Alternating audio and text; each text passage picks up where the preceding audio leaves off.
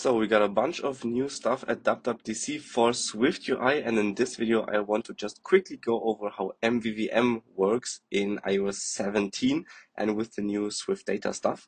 So first of all let's import Swift data. For some reason these new Swift macros are part of Swift data, not part of Swift UI. I'm not sure why or if this is actually intended since I'm not using it with Swift data right now in this video, but you will see in a second what I mean with that. So I just have a dummy view here that has a state variable of a text, which is just an empty string, and a text field that binds to that text. So this is exactly what you would have in previous SwiftUI versions as well. Now I want to introduce a view model to hold this variable here so I don't have the data in my view as you would do with MVVM usually.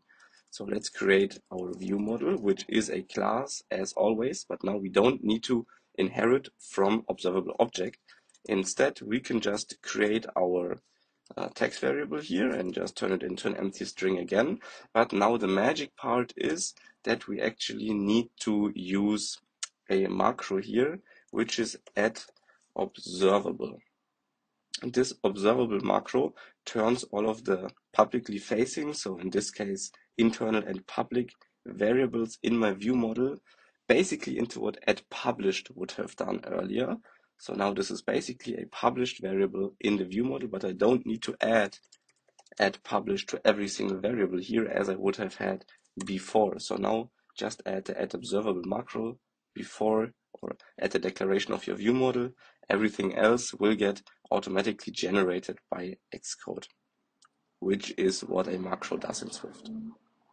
And now I want to actually use that in my view. And for that, I can just add the model and just initialize it right here. So this will be a view model. But right now I will not be able to bind to that view model.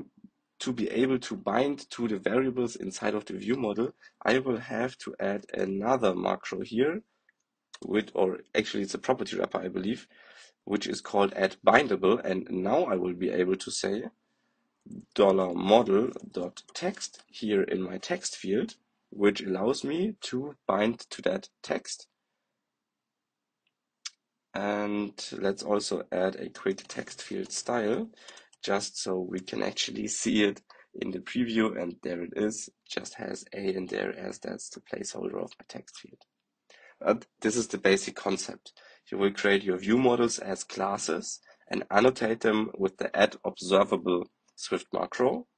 And then in your views, you will create your view models as always, but instead of observed objects, state objects, and environment objects, you now just use the add bindable property wrapper if you want to bind to these values. If you only want to read them, of course. So if we get rid of the text field here and just have a text of model.text, then we can of course get rid of the add bindable since now we don't want to create a binding to that text.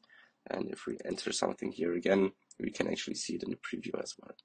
All right, and as I said, for some interesting reasons, so let me revert, uh, revert all of this. So we have our text field and now I add bindable again. I'm not using any Swift data here, right? So should I be able to um, comment out import Swift data? For some reason, then it doesn't know what add bindable is. So this is only part of Swift data, not part of Swift UI. Keep that in mind when you get this error here that the initializers are unavailable. You need to actually import Swift data in order to use the add bindable property wrapper. This was just a very quick example. Let me know in the comments down below if you have suggestions or any of the new topics that you would like to see me make a video on. Cheers.